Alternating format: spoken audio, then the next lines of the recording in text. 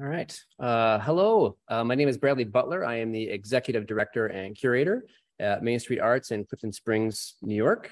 Uh, thank you for joining us for this discussion with the artists uh, included in our exhibition, Six Painters. Uh, the goal with putting this invitational group exhibition together was to take a pulse on what we feel is very interesting painting happening in our region of upstate New York. Uh, artwork included showcases the surreal, the serene, and the sublime through the medium of painting. Um, the exhibition will run through September 1st, 2022, and gallery hours are Tuesday and Wednesday from 11 a.m. to 3 p.m., uh, and then Thursday through Saturday from 11 a.m. to 6 p.m. Uh, exhibition programming at Main Street Arts is made possible in part by the New York State Council on the Arts. Uh, also, as always, Main Street Arts exhibitions are a group effort, and I'd like to thank Sarah Butler, my wife and co-director at Main Street Arts, uh, and Kaylee Mulberry, office and gallery assistant, uh, for making this exhibition come together. Uh, also, a special thank you to our summer intern, Kristen Ketchum, who finishes up finishes up her internship uh, later this week. As she heads back to college.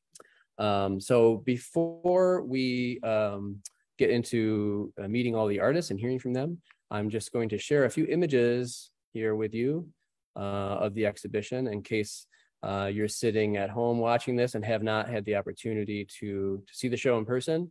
Uh, definitely encourage you if you can to come in and see the show in person for sure. Uh, very vibrant, colorful show, um, and a lot of great texture on these paintings, which are great to see in person. Um, so I'll just show you a couple of installation shots here. And uh, the group of artists that we're going to hear from.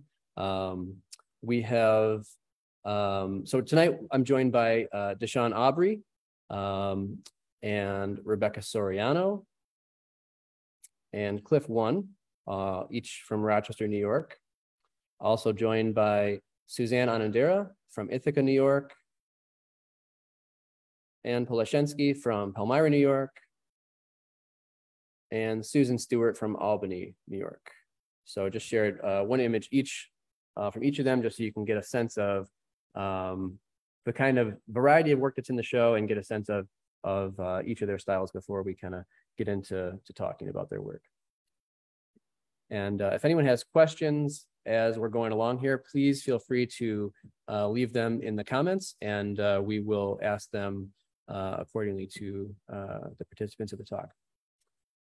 So um, I think we'll we'll go ahead and start talking with the artists. So DaShon, uh, would you like to uh, talk a little bit about some of your background or approach to painting? Just kind of introduce yourself. Sure, I can try to get into that.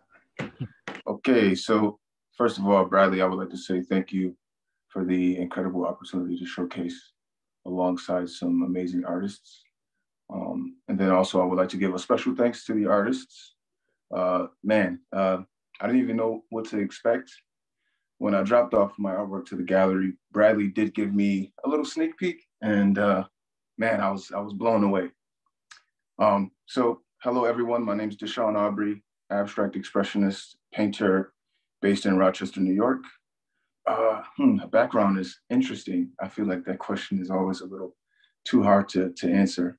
Uh, it's not specific enough, but I will say that uh, my entry into painting came about when I felt like poetry wasn't enough. Um, I did poetry a lot uh, up in high school, uh, probably up until the 12th grade, right, the time, right before the time of graduation. Um, and then I headed off to college where I was taking up college.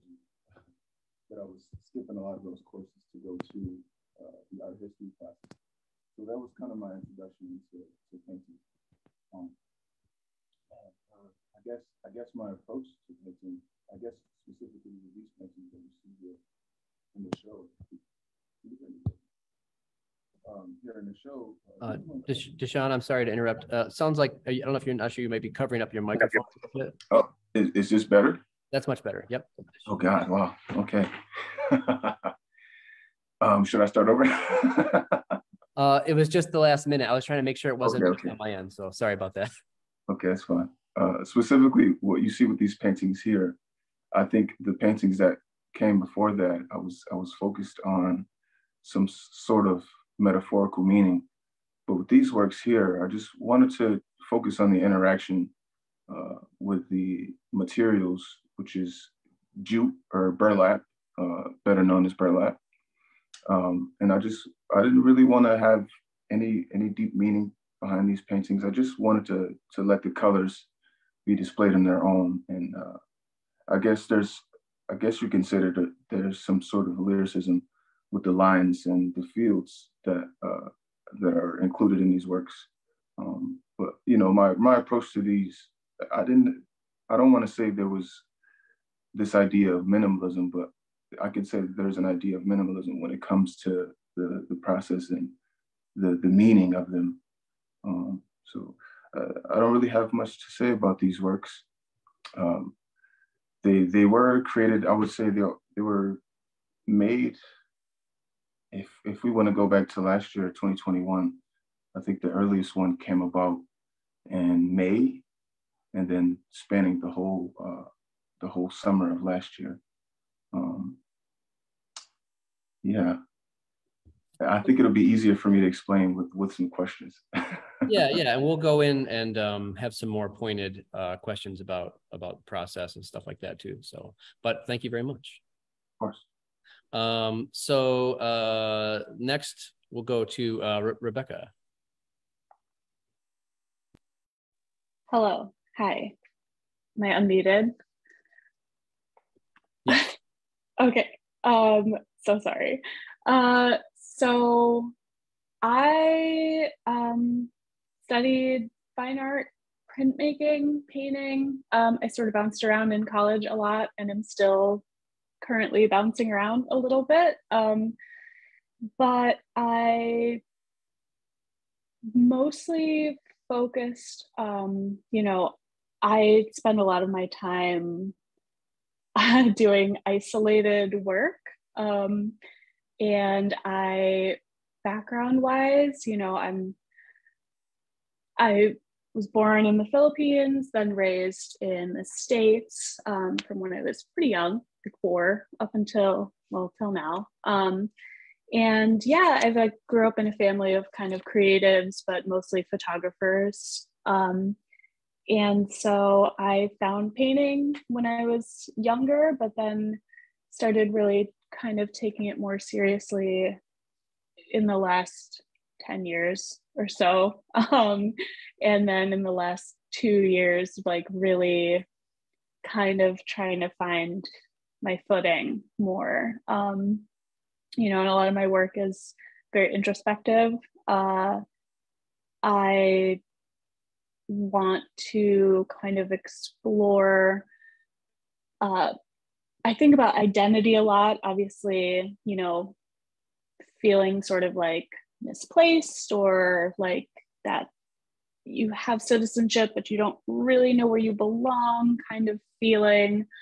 Um, that's kind of always been a bit of a mixed mystery for me, like a sense of like self, exploring things like that, and then kind of getting away from just doing strictly portraiture, of fractured portraiture by um, I really love still life painting and I like exploring like these connections that we can make between um, memory and inanimate objects. um, that's kind of it, it's, you know, what one object means to somebody uh, can mean something totally different, but the actual object hasn't changed at all. It's it's just it is. But we as people like place importance on things. And just i find the way to like mix those together in a piece um, that kind of like motivates my work. Great. Well thank you rebecca. Um, and uh, next uh, we'll, we're, we're going in order here uh, we're sticking in rochester for right now. So uh, cliff you're you're up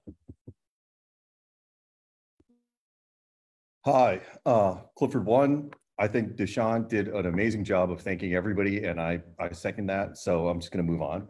Um, I was born in Hong Kong, and my family emigrated to America uh, really early. So I was only about two years old. But we grew up really poor and um, in a time period where it was only a few years after the Jim Crow laws stopped. And so there was so much racism and it really affected my life.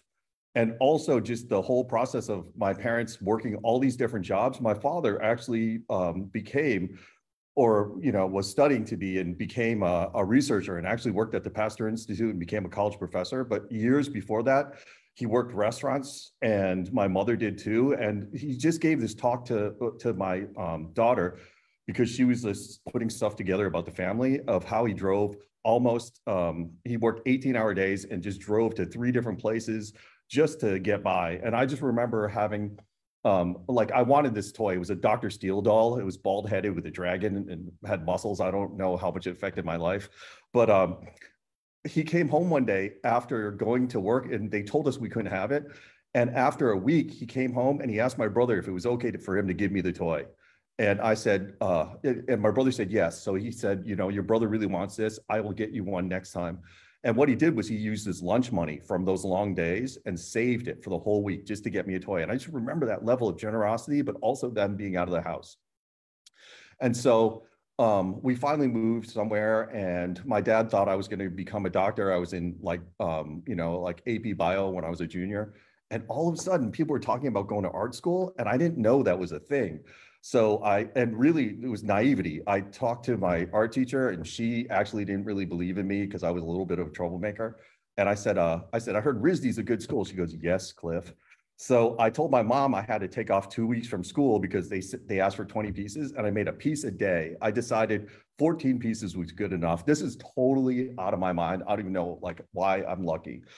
But I applied with that and I actually got in and I decided I'll be an illustrator. That's how I'll make money. So I this is a kind of a long journey, but I went out into the world and illustrated. And when I was doing my illustration, number one, I didn't like the stuff I was doing, but also in this company that I was with, all my friends were using their own images in the illustrations. So I did that one day. I just thought I'll put myself in illustration. And the art director came up to me and said, Cliff, you can't do that. And I was like, Rocky did it. And they're like, yeah, but Rocky's white. And I realized in advertising, and especially then in the 80s, you couldn't have a woman or uh, a person of color in front of those images. The normal person that everybody's buying was the average white person that was there who was really handsome. And unless they're marketing specifically to those other uh, images. So I left that whole process, went to New York City, ended up being a bartender at Studio 54. If you're young, you have no idea what that means. If you're older, it's super cool. And um, when I finally was just making money and sitting there, I thought, you know what? I actually want to do artwork.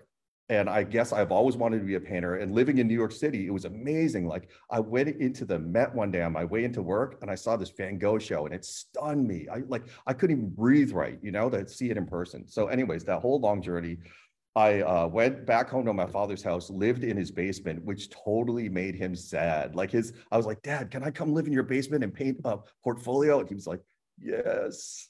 And so that actually led to me getting a full uh, uh, fellowship. And I went to MICA and I studied and I just started doing artwork and I sold out my uh, uh, graduate show.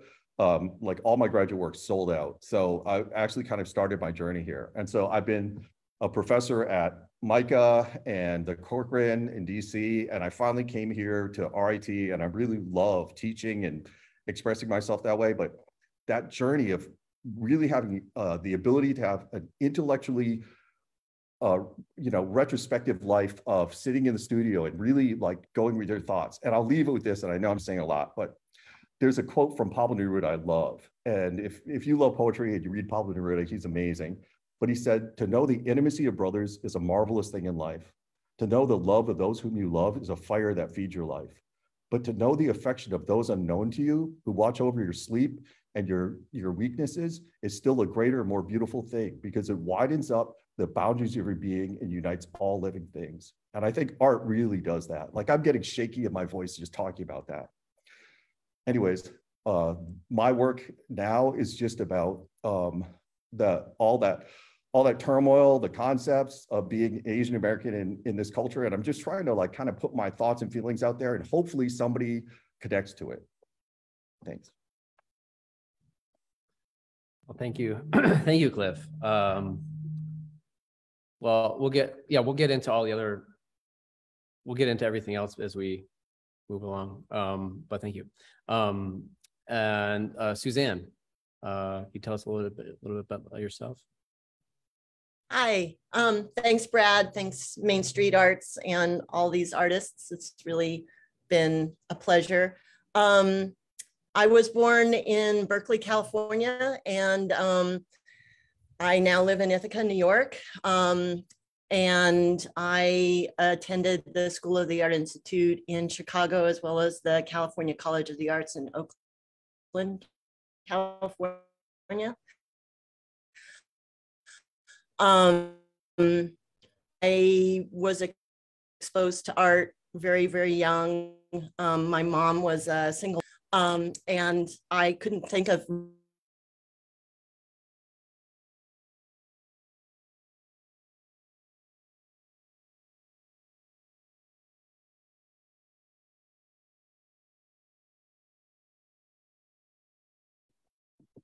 Okay, really anything else I wanted to do paint. And, um, so here is I about my process that's in the show at Main Street is small to medium size. Um, but I really like the process of painting. Um, I love materials um, and I love the tradition of painting and the history of painting, I think is what keeps me motivated. Um, when I was in college, I originally um, started as a scientific illustration major and then I, I realized quickly that the painters had much more to say and they had better parties. So I started hanging out with the painters and um, just learned a lot more about materials and history. Um, and I'm, I'm glad I chose that path. Um, so I don't teach. Um, I, I have taught um, individuals and children, um, mostly at-risk youth in the past. Um, and I don't know, Brad, what else am I supposed to cover here? well, I think you're you're covering uh, just just what you're supposed to. I think we Okay. lost a little bit of your background, um, like talking about your childhood a little bit. I think uh, your that kind of went a little choppy. So if you would just want to circle back Okay. around to that, and then Okay. Yeah. Um, so how I was interested in art was um, my mom took us to museums a lot when we were kids. Um, and that really, I think, was um, a big eye opener for me. Um, and after college, I drove a forklift for a while. And then I ended up working um, in the game industry, creating um, 2D and 3D worlds, um, fantasy, sci fi worlds. Um, which I think definitely influences my work now. Um, I love um, these sort of non-descriptive landscapes that just exist in one's mind. Um, and I, I love film. I love um, writers and painters who are really in touch and skilled in their craft. Um, but yeah, I think the science fiction fantasy world um, has had a big influence on my work. great. Thanks for that, Thanks. Su- or Suzanne. There's just Susan. Okay, we got a Susan, Susan, a Suzanne, and an Anne in the show. So that was my first slip up of the evening. Let's hope that's my last. So thank you, Suzanne. Um, uh, so uh, next we'll hear from Anne uh, in Palmyra.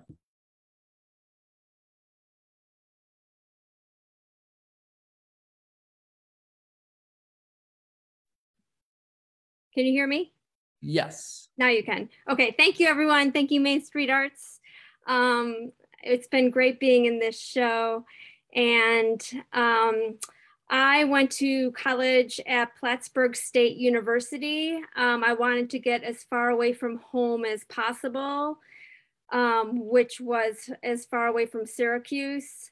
And um, that college is above the Adirondacks, um, about five hours away. And after college, I went to New York City where I lived for 20 years. Um, I went to get my MFA at Hunter College in New York. And there I concentrated in combined media. And I think my love of materials is really where my work is, um, kind of where my work is now. Um, in undergrad, I did a concentration in painting and printmaking. but in between um, undergrad and graduate school, I made paper sculptures and made like cast paper sculptures. And they were larger than life size and made um, like large installation sculptures with um, cast paper. And I started painting again. And I started falling in love with gouache and I would make these huge sculptures with gouache paint, um, which was really strange because I used gouache like acrylic paint. Um, and then I started making miniature size paintings out of um, graduate school. And I work in mostly series. Um, so I'll work on a series for five, seven years. And in the past five years, I've been working with plants. Um, I love them. I grow my own plants, and that's where I am now. I've been growing plants and making paintings and cut out collages of them.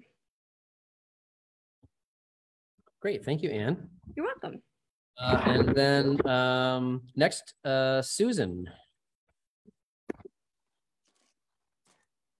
Hello, thank you so much, Aunt Brad. It's, it's been an honor to be part of this. Um, and so um, just uh, thank you. Um, I People have given a little bit of the background and, and, and touched on their schools. Um, I, um, when we were in public school, I, I, grew up in Massachusetts and we didn't have art in the public schools. However, we did have it in junior high for, you know, seventh grade and eighth grade.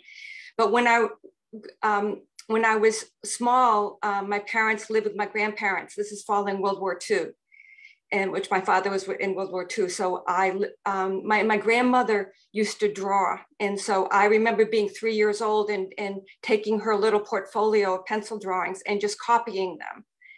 And then that graduated to she would put an African violet, a real plant on they'd given me a little a little paint box with with with, oil, with um, watercolors, and she'd let she'd place the plant um, on the table, and so the whole idea of just drawing and, and, painting was just I just thought that's what everybody did, and then. Um, for, for college, my brother, my older brother had gone, was going to Syracuse. And so um, he was four years older than I was. So that's how I was introduced to it. And um, I applied to their art school. Uh, again, I just did drawings of my, I did pastel drawings of my friends and, and that was my portfolio. Um, anyway, when I got into art school, what I, um, what was, what was interesting and had its effect, um, number one, um, junior year, I went um, I did semester abroad in, in, in Florence, and I was just um, brought to my knees um, by the beauty of the art, the Renaissance art in the um, cathedrals. And I can, I'm emotional about it because it was so um, just awe-inspiring to me, both the architecture and, and the painting. And I realized it wasn't just, it wasn't the biblical stories per se, it was the artwork itself, the, the mastery of it. And um, I just, so I've carried that ever since. And, and, and yes, the spirituality, um, I certainly um, has its impact, um, has always had this impact on me. Um, the other thing I have to say about going to college for, an, for a woman going to art school at this time in this in the in the 1960s is we were also told um, they took all the women um, going into the into the, well, actually they were sophomores and we were told specifically for women if you plan to get a job which i did i, I always thought i was supposed to work and have a day job um, the only thing that you can plan on getting a job in is teaching. And advertising don't even think of going into advertising because they'll take the mail.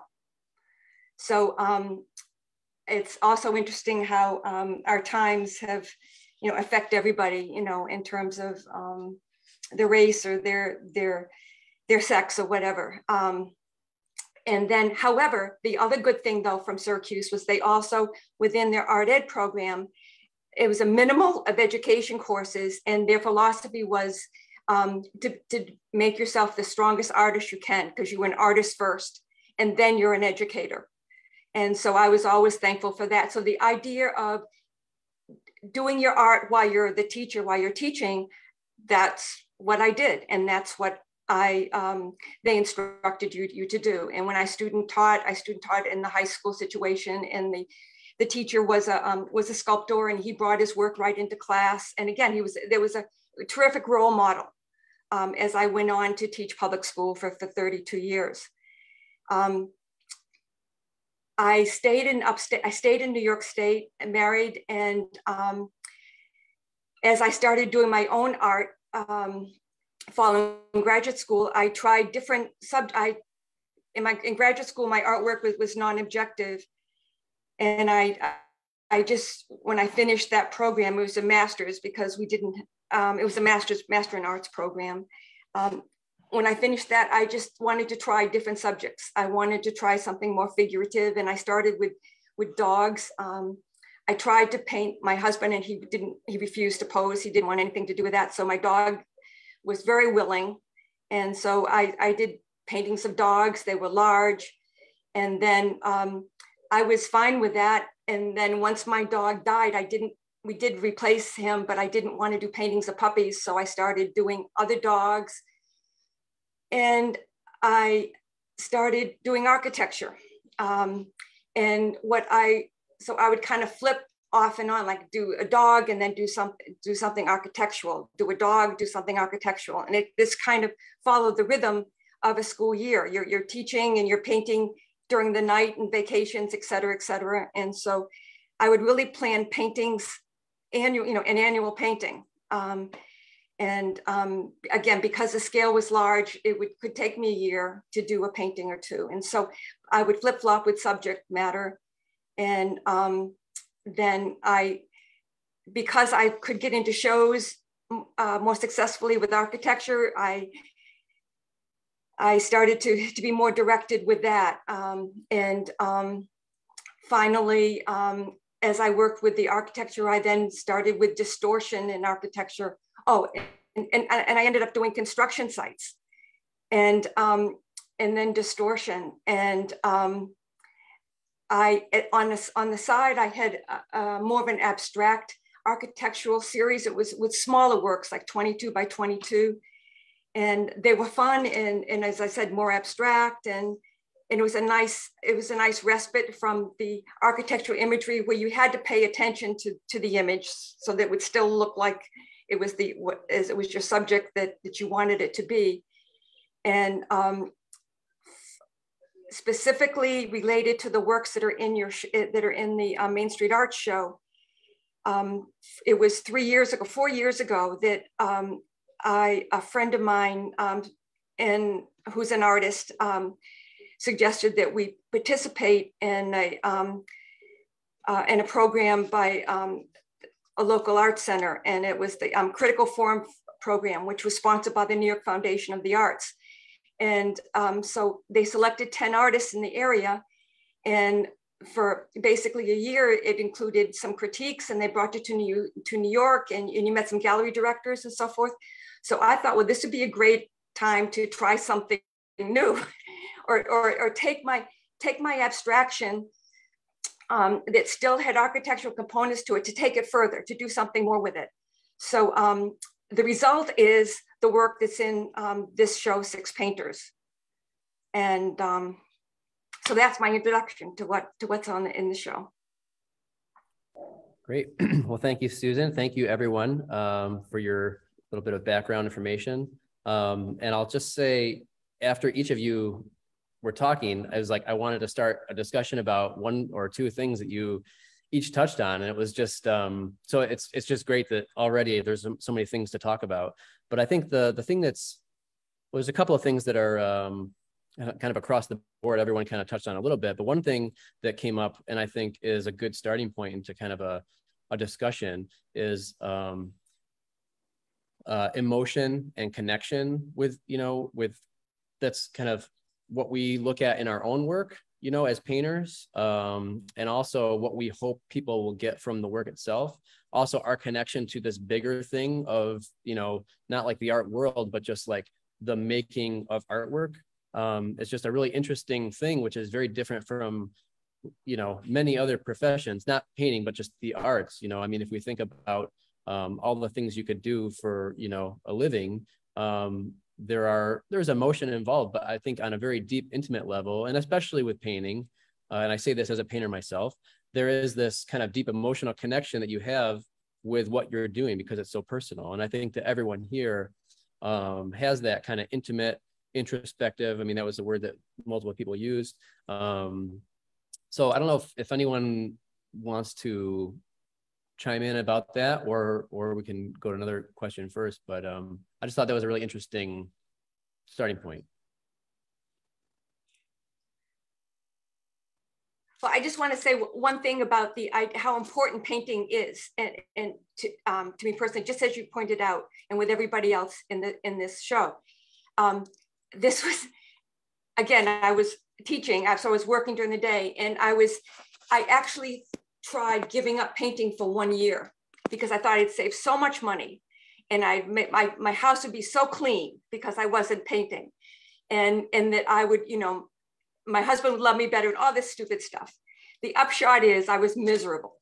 Mm. So from that point on, it was a, it was a, it was not an issue ever again. You know, there was no question. I was just going to keep doing it. And I've told my husband time and again, you know, I'm going to do this till I die. You know, just get, just understand. That's all. So um, I'll add that to the, to the idea, to the talk. That's an even better way to that's a better way to frame that. Thank you. Anyone want to comment on or follow up on that? Yeah, just just to add to that, what you were saying, uh, iPad.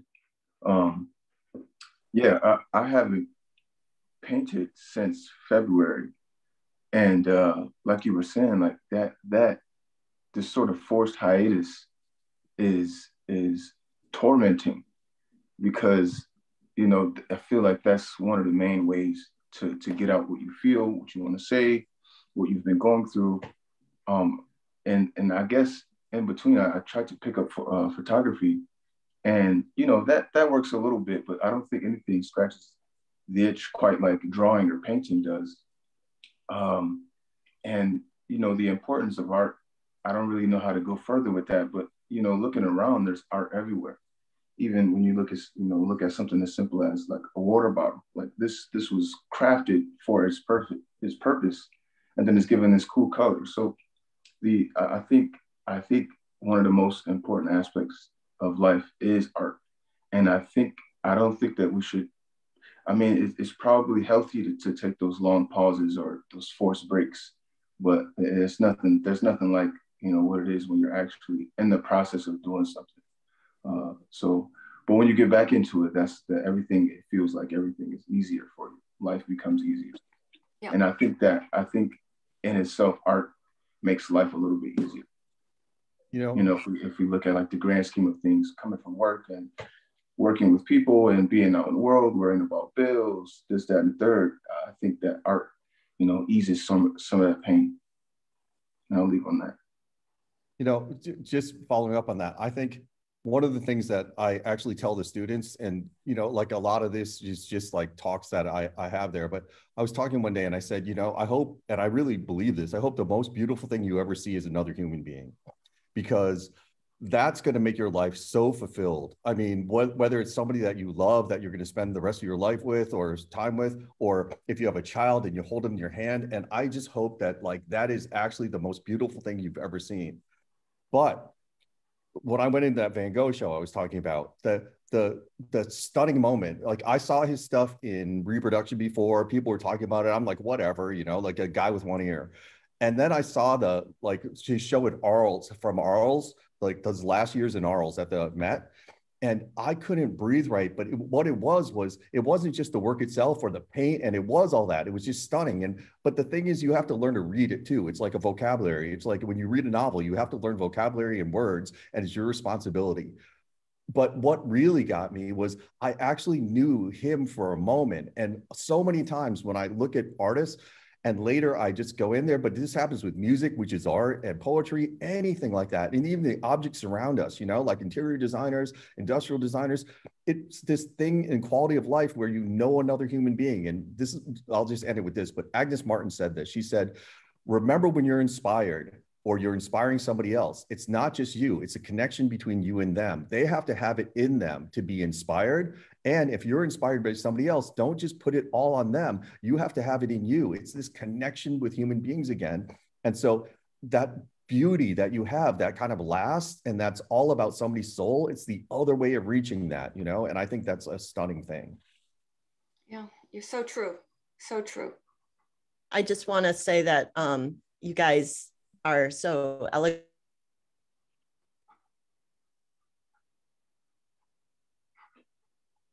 Well, then I, I think I lost you for a second.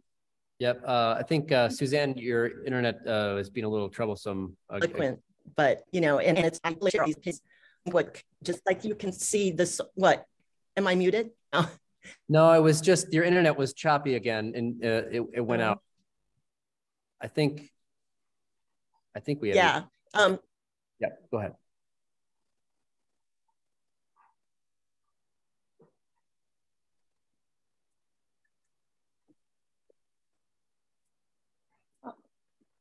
just um, that just that looking at i think i think i i lost sorry go, it goes in spurts. We have you uh, very, very clear and then we don't, but uh, go ahead and, and try, try one more time here. I think the times when I'm painting in the studios when I feel the most alive and most in touch with, you know, the soul of who I am. And when you go to a museum or when you see a painting or you meet a painter who's really in touch with that soul, um,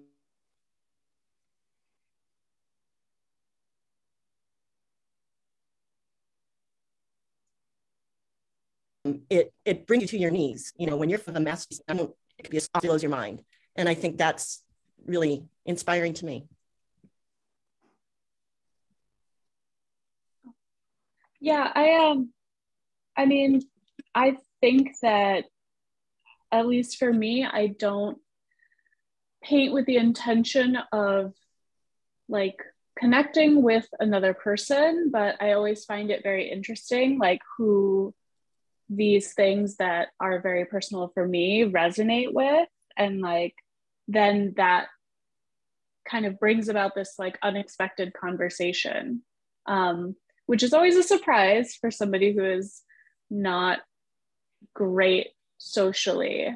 But sort of like without trying you can like find all these interesting ways of uh, reaching other people um, which I think is a great part of painting. Even like like what what Cliff was saying, and uh, everybody else, like people that you'll never meet because they're gone.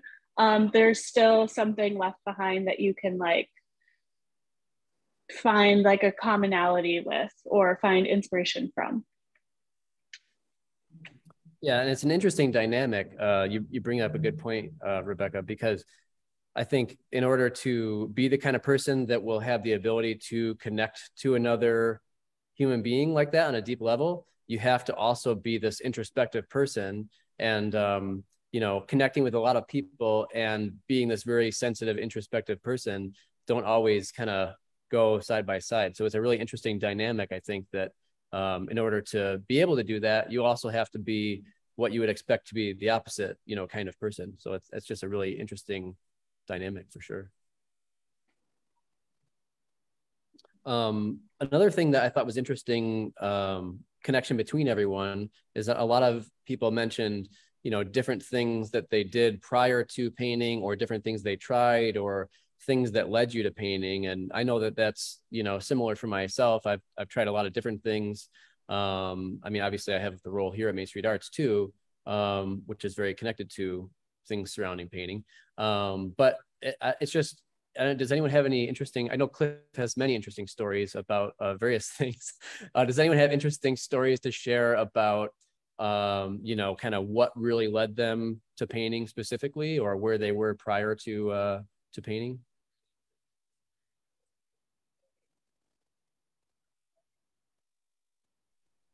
Yeah, I, I think I can go back to, to what I was saying in my introduction, uh, being in, audible, being that I was I was in college uh, studying biology because I was interested in becoming an orthodontist.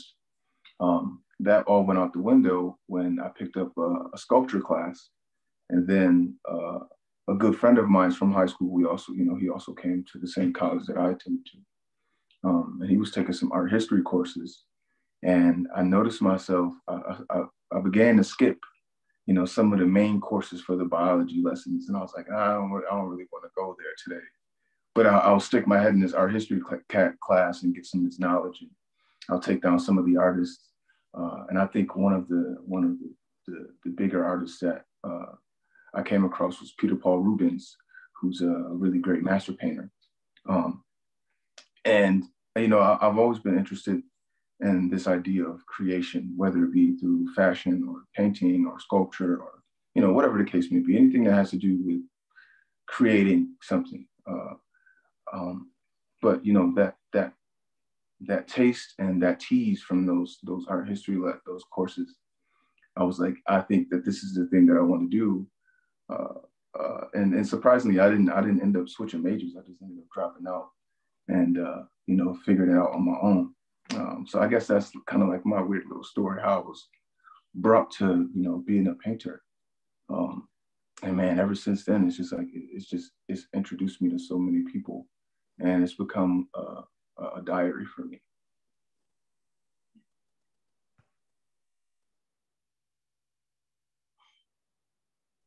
Any, anyone else want to uh, touch on touch on that a little bit more? Or?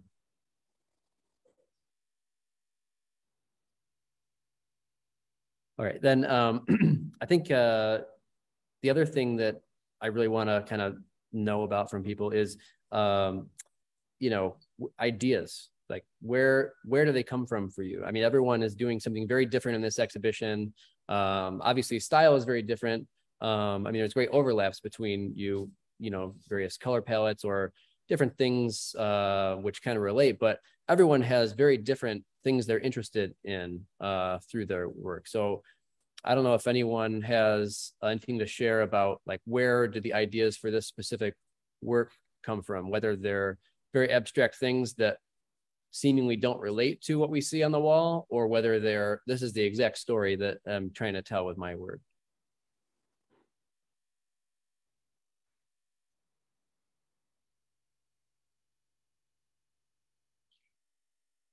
Okay, so I'm trying to be quiet. don't don't fight it. Don't fight it.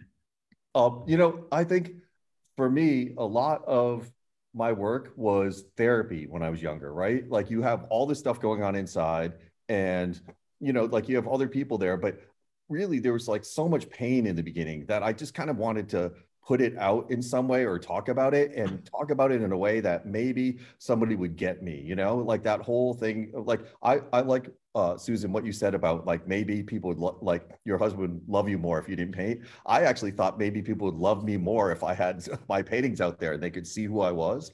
And so then I just started pouring out these ideas, and it was really reactions to things. So my early stuff that was allegorical, because people said I couldn't make myself, I started trying to paint myself and I made myself cadmium yellow deep, you know? And everybody said that, like, like, you know, like Chinese people, like Asians were yellow. And I actually liked to change it to the we're the golden people, you know.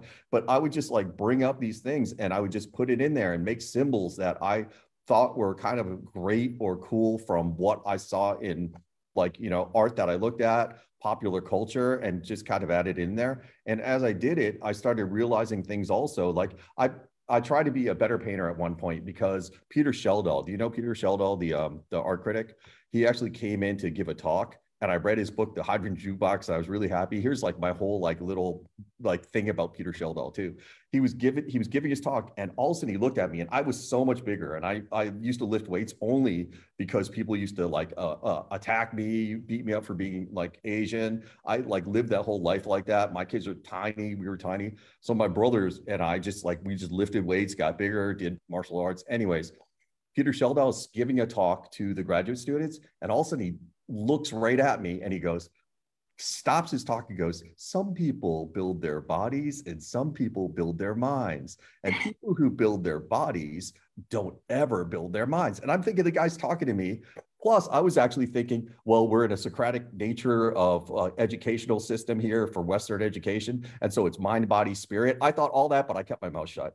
So he comes to the studios and he knocks on the door and I open the door and I'm thinking, okay, maybe I'm thinking too much. As soon as I open the door, he actually jumps back and goes, It's you, and runs away down the hall. And I was like, Peter, Mr. Schjeldahl, I read your book. It's this whole thing where all these art critics at the time, and this is like the 90s, told me that my work wasn't in fashion and that my skill level wasn't what people wanted to see. And it was mostly like older white men. And I'm not saying anything about that. I'm just saying that's really what happened. And so I started trying to be a better painter and I love Van der Weyden. So I started painting just women on flat backgrounds and those actually sold, sold really well. Like I put those out there, they'd sell. But I was giving a lecture one day and this woman just, you know, castigated me and said, you are so sexist and misogynist. Your pictures are like, you know, objectifying women. And I'm in the middle of the lecture and it's true. I said, I said, you know what? In a patriarchal society, when I'm making imagery that objectifies women, it is absolutely, you know, like uh, misogynistic and part of that whole world process. I said, but you watching this have forgotten that I'm actually a Chinese man in America painting images of white women as the most beautiful thing. And so, actually, in that realm, it's also of me being in this culture and changing to the part where I'm looking at Western artwork. And then I actually said, and I married a white woman and I have half Chinese, half white kids. So I'm a traitor my own race. I was like, which one of those are true? Or am I just looking at what I think is beautiful at this moment from my from my life here and I'm painting it? And I think all of that's true.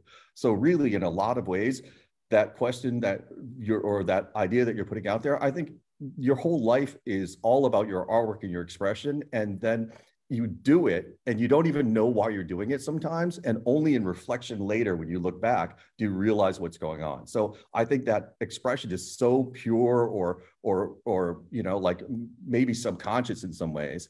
And so i look back at my work and i think i did that and then i have time to think about it.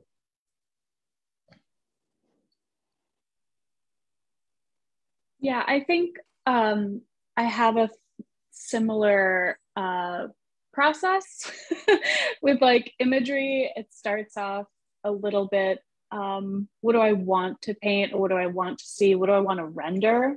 Um, and a lot of, for me, moving away from doing, because I used to do pretty much almost exclusively like portraiture, um, but taking those elements and trying to expand this uh, arsenal of things that I want to be able to do. And like it started out with like what's the most like what are these like kind of challenging things that i can do to break out of what feels kind of like a stagnant place? Um, and then that kind of builds you're like okay there's this thing and then the you start uh, for me i start sort of just collecting images and things around me or like going on walks taking pictures of stuff that i see things that are like oh that's like an interesting shape. And all of those unintentionally collage into something that um, they all go together in a very weird way, but maybe it doesn't totally make sense. But it's very instinctual. Um, I don't plan anything out. Um, I don't sit down and like do thumbnails ever. I don't know how anybody else is, but I'm not a thumbnailer. Um, as terrible as that is as like an art school student.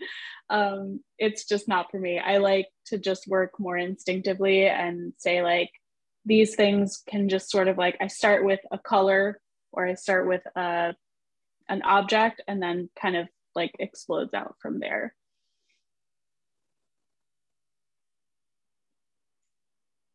Yeah and i think it's really interesting to see where something starts and something uh, ends up, right? And I think, you know, Cliff, what you were saying earlier, I think that at the heart of it, it's when we can connect to what we truly either feel we have to say or need to say, um, or connect to the right way to say anything, you know, um, even if you're not trying to say something specific, it's just finding that right vehicle. That's when I think that that real connection that we talked about earlier, that's when that has the opportunity to happen. Um, and I think that that's uh, a really interesting thing when that can happen. A very meaningful thing too, personally, for sure.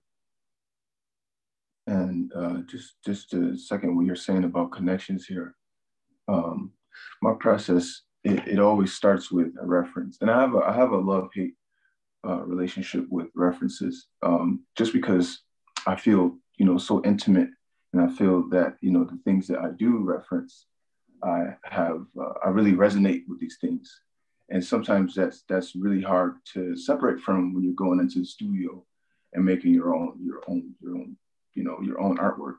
It's I have a love hate relationship with it because it feels like you're having a conversation with what you're referring to.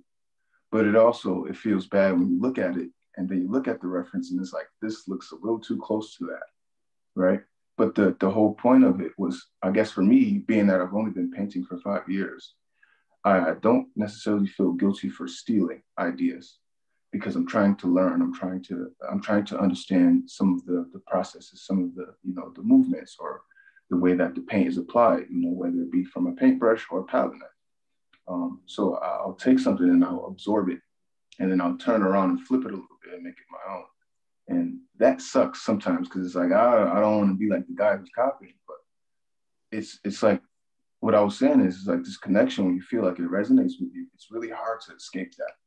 Um, and uh, like at, at, least specifically with these works too, like the idea uh, to use the burlap came from uh, another great abstract expressionist. His name is uh, Spencer Russell Lewis. Uh, he paints really large scale jute, you know, burlap paintings. And I was like, I want to use some of that. I want to see how that works. Um, so that's that's kind of like my process. And and I think, you know, that that is even said when because uh, I have drawings of sneakers as well. You know, I'll take like a very classic sneaker and I'm like, okay, what can I do to switch this around and make it my own sneaker, right? Um, so I, I, think I think that everything I think that most great things uh, come from a reference. And I think that um, you know that's a big thing with with us as humans is that we we take something and we just want to respond to it because we all want to be a part of something. So that that is that's my whole process when I'm in the studio. And and I guess uh, that was an, another reason why I took this hiatus as well is because I didn't want to study. I was like, I, I need to go away from doing studies so that when I go back and pick up the paintbrush, it's all me. Um, so that's a little bit about my my uh, process.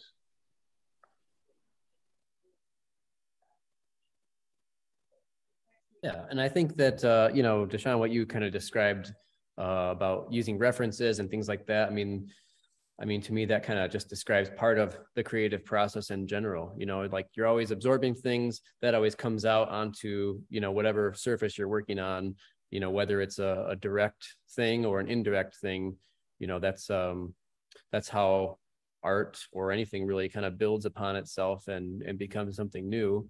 Is we have to kind of look to the past while while also looking at the future, kind of digest things and you know process them in our own ways and have them come out onto the the canvas in this case. So, yeah. Um, and uh, does anyone, I guess, to kind of wrap it up because I feel like we I, I could personally just talk about this all night long. I think we've gotten really interesting uh, territories here, and there's there's so much to um, to delve into. Um, but I guess um, any eh, does anyone have question any of the artists have any questions for any of the other artists first of all and then i guess any uh any closing thoughts or interesting observations about uh well about painting life in general i mean we'll we'll open it wide up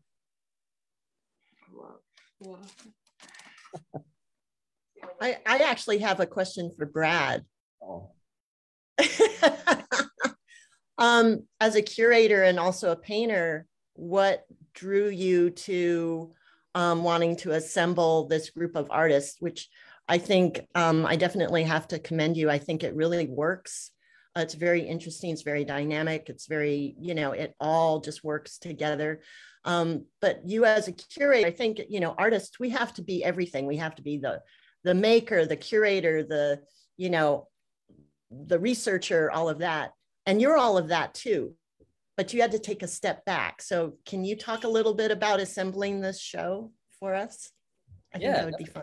Yeah, uh, well, so actually the, well, I'll, I'll go further back and just say that my approach to curating and installing exhibitions as well comes directly from my approach to painting. Uh, it's a very intuitive process, um, which relies heavily on uh, improvisation, but also on my background. I have an earlier background in graphic design, very small, small background in it, but um, small knowledge uh, in graphic design. But anyway, the skills are there, and I think I kind of rely on this um, uh, tapping into on a subconscious level of design. So that's like the way I think about not only the arrangement on the wall, but also in the back of my mind, somehow I'm keeping track of, um, well, will this look good with this? Will this be too similar? Oh, these lines here look just like the lines that someone else is painting, even though they're totally different styles. So, so there's there's that. And then with the idea for the show, um, you know, in, in the past, I've come up with titles for exhibitions which are very uh, like maybe hard for people to understand, and they're even hard for me to explain to someone because I've gotten so far down my own rabbit hole and thinking about a very abstract idea that um, you just like, what is this even about anymore? It's interesting together on some level, but you don't know how to describe it to someone. So, um, so the idea for this show was like, I want to have a show about painting. We're going to call it Six Painters, and there's going to be six painters in the show, and that. So um, that's like where the kernel of the show came from. And then from there, um, I'm trying to even think some of the first people I had in mind, um, well, like, so we always have our open call, right? We have that on our website. People can submit artwork. So I, you know, we always reference the open call and uh, there were a few people who, um, you know, from the open call, like I, I think uh, Susan, you had submitted and, and we knew Susan's work from a previous show or two also. Um, but it kind of just builds organically. So I knew, know, um, Susan, I wanted to have her in the show. She was in a show in 2016 here called House and Home. Um, and you know, she had this new work, which was really interesting. And so that was that was something that was there. And then DaShon was in a show that we had in 2020 uh, called Figure Ground. And I just really liked the kind of lyrical uh, line work um, in, in his paintings and also just following on Instagram and seeing things that were posted uh, that he was posting. Um, not only paintings, but like images of him like running through the field with his painting in the background. It was like just really interesting to me, just like the other things that he was posting in relation to his paintings, and then also his his photography that he mentioned too. Um, but um, so like I knew there was a great connection between Susan and DaShon, you know, some of the line work, and and that's what DaShon mentioned. I gave him a preview of some of the work that was in the show. Um, that was the the paintings I was showing him, especially because I thought he'd really respond to that. Um, and then I think Anne also submitted to our open call, and I really liked the the vibrant colors that she was using with the gouache paintings and the collaging, um, and saw how that related to both of those artists, um, you know, color wise, but totally, totally different approach, totally different scale, um, everything uh, very different. And um, and then Cliff um, was in a show called Painters Painters Painting Painters uh, in 2020 uh, beginning of the year, pre-pandemic.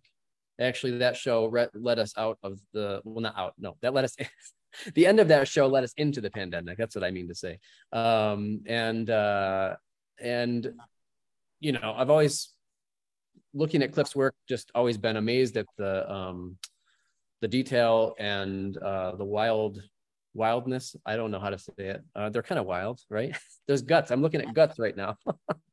um, uh, so just um, knowing that that could fit into the show too uh, on a level, uh, knowing I wanted to have something that was very uh, detail oriented, and um, and also, you know, it's not like we're showing all of what's happening in painting, right? It's a very uh, narrow scope, but also has a lot of variety. So that was kind of on the back burner of the brain also.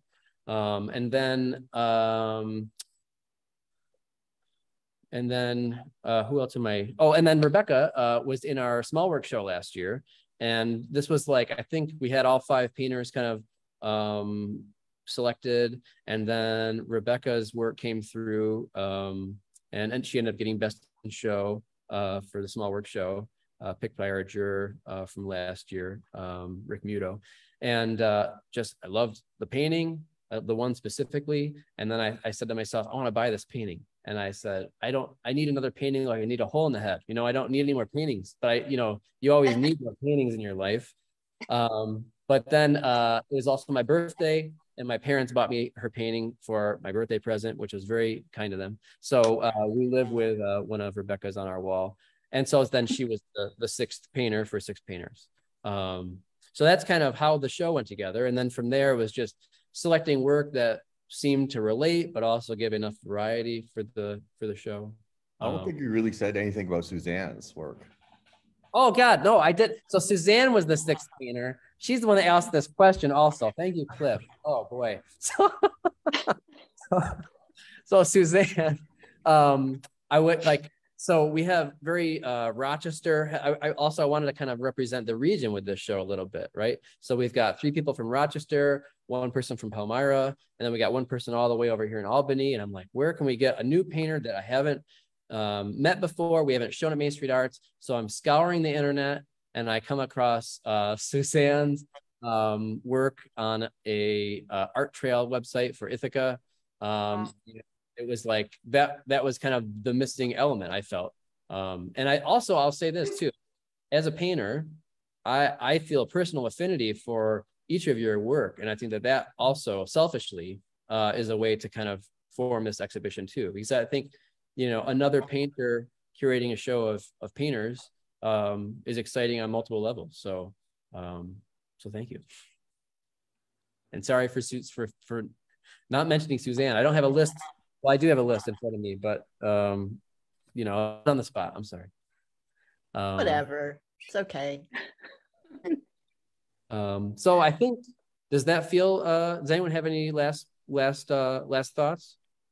You know, I just want to say that it was a great experience to see all of your work and to meet you. And I think that you putting this together, I mean, it's really, really about that. It was really thoughtful, but it was really kind of wonderful. And I think it's great to see that we kind of move from really young to, you know, like a little bit older and just that whole age. group. I'm Just putting say myself old. in there. Just say I- old. No, no, I'm putting myself in there. I, I just got, you know what? I just got a discount on waste management by telling them. But I want to, I want to echo, I want to jump in here while my internet's still working. Um, that I was really actually pleasantly surprised that it was so diverse. Um, that the ro- the the roster was both, you know, generationally and racially diverse, and that really excited me because um, I guess also from coming from California, which is really pretty mixed and living here in Ithaca, which is pretty not. Um, it it it's been like a culture shock for me to live in central New York. Um, and so it's been really refreshing and really fantastic to meet such a diverse group of artists. And I want to commend Brad for, I don't know if that was a conscious effort or if it just happened that way. Um, you don't have to disclose, but I, I do think that it was really um, fantastic. And I was pleasantly surprised also by um, the space and how welcoming everyone was. Um, I'm used to being the only non white person in the room. And um, I was so glad to see Cliff there and DaShon. And it was just like, oh, it, it, it felt like I have known you guys my whole life. So I just want to say thanks for being so welcoming. Yeah, absolutely. Um, I genuinely don't know because I don't leave my house. Don't think I would have ever met any of you. um, so it is truly like it's impressive to see everybody's work and really like experience it, especially in person. Like you were saying, like everything about seeing these in like paintings up close, being able to really like absorb all of the texture and things that are like so lost with social media posts or you know just a simple photo um, it's it's really wonderful and uh, i am super thrilled and excited that um, i got to be involved in this group which has been so interesting and eclectic and energetic Great. And I think I, and not to um, uh, ignore Facebook, we do have a, we do have a question. Um, so I'm going to ask that and then we can, um, you know, go back into kind of closing, closing things down. Um, so this question comes from Peter Montgomery. Uh, and Peter says, such amazing stories of background and process, such thoughtful reflections from everyone. Question for Suzanne. You mentioned science fiction and fantasy. Uh, your paintings are wonderful. How do you balance the object paint aspect with the story slash scene slash atmosphere part? Your works read at many levels. You flip back and forth from the marks to the scene, from the plane to deeper in it. Uh, is that flow constant? The flow is constant, definitely. um, I also um, choose to leave out a lot of really specific references um, because I feel like it gets in the way of the audience or the viewer being able to just walk in and experience it. So there, it's always a fight, um, the balance or the imbalance and, and riding that edge of the sword, so to say, um, to keep it interesting for me, but also to create this realm of the unknown, right? Um, most of the time, I don't really know what I'm doing when I when I stop in and I just start working. But it's really there. There comes a point where it all just starts coming together, and um, it is like riding on the edge of a sword because at any moment it can just be crap. Um, but you've got to just be really focused and in the moment, in that painting, in that world, in your vision of what you're doing, and um, the moment you fall off that edge of the sword, you you know it. And I'm sure all of you guys can understand that. Um, what I'm trying to obtain in the paintings, um, it's more of a mood of, of an idea of a mood. Um, so I don't have a lot of references. I don't like Rebecca, I don't do sketches, um, but I'm constantly thinking about the materials and the process and the action of actually painting so yeah it's a it's a lot it's a it's a lot of baggage to carry when you walk into the studio but um it all comes together somehow magically in the end. I wish there was a way that i could just say take a pill or rub a rub a salve on there and create a painting but it's um it takes months sometimes for me to finish one painting. So it's it's definitely a process. You've got to love the process. Whether it's painful or not. Whether you're in a bad mood or not. But yeah. um, well, great. I think um, I think that that's pretty good uh, spot to end. I think paint paint uh, just because you got to. I mean, whether you're in a bad mood or not, whether it hurts or not. um, so I just want to bring everyone back on so we're all together. We can everyone sees each other, um, and just thank everyone that's that's in this uh, room here. Uh, thank you so much for not only being here tonight, but also for being in this show, uh, making such great work, and um, and for sharing sharing this evening. Um, and if anyone, because um, we didn't really share a lot of images uh, during this this talk, we do in a lot of our online talks we do, but this one we did a little bit different format, have more of a discussion. Um, so definitely, if you can't get here to see the show in person, uh, well, it's behind me. Um, but also you can go to our website, mainstreetartscs.org. Um, you can go to our exhibitions page and find this exhibition here, uh, Six Painters. You can see um, images of, of the work. Uh, you can see images from the exhibition on Flickr. Um, and also, uh, if you can, please come see the show in person. Uh, it's been said multiple times tonight. It's worth seeing in person. Uh, definitely a much more enjoyable experience it's enjoyable to see virtually, but it's much more enjoyable in person. So please uh, come.